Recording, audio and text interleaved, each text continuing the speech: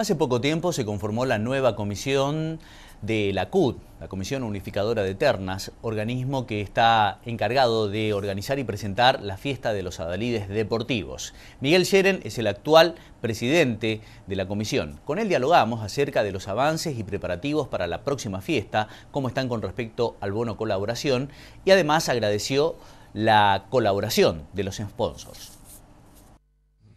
Sí, la verdad que estamos eh, bien, o sea, estamos trabajando bien. Eh, tenemos el,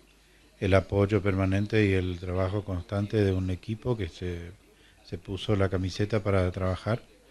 y tenemos que agradecer también el acompañamiento, en este caso de, de los sponsors que dijeron que sí, eh, la comunidad en general que está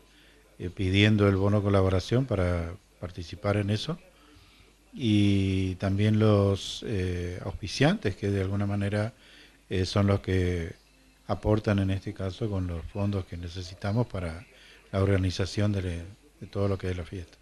Eh, las tarjetas de la cena este año van a estar 130 pesos mayores y 70 pesos menores, eso también ya lo fijamos. Ahora estamos trabajando con los nombres, posibles nombres de de los invitados de honor, que son tres personas que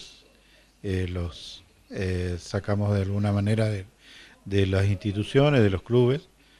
y bueno, y también con los invitados especiales que estamos haciendo algunos contactos para ver si podemos, eh, tenemos por ahí la posibilidad de traer personas de, otro lado. Sí, en el caso de la moto lo hemos conseguido el precio de costo y el, resto de los premios de los nueve premios restantes son todas donaciones, así que el único que tenemos que eh, eh, hacernos cargo en este caso es la moto. Los premios están pedidos, los va a hacer el, señor, eh, el mismo señor del Dorado que los hace todos los años. Nosotros hemos ido y hemos hecho un, pedido así de del formato del, premio un poco diferente y que bueno que se lo va a ver un poco más representativo y eh, o sea, y los costos por ahí son no son tan elevados tampoco porque este señor siempre eh, hace un, importante descuento en su trabajo y además ya es un trabajo que conocemos y sabemos cómo se, cómo se maneja.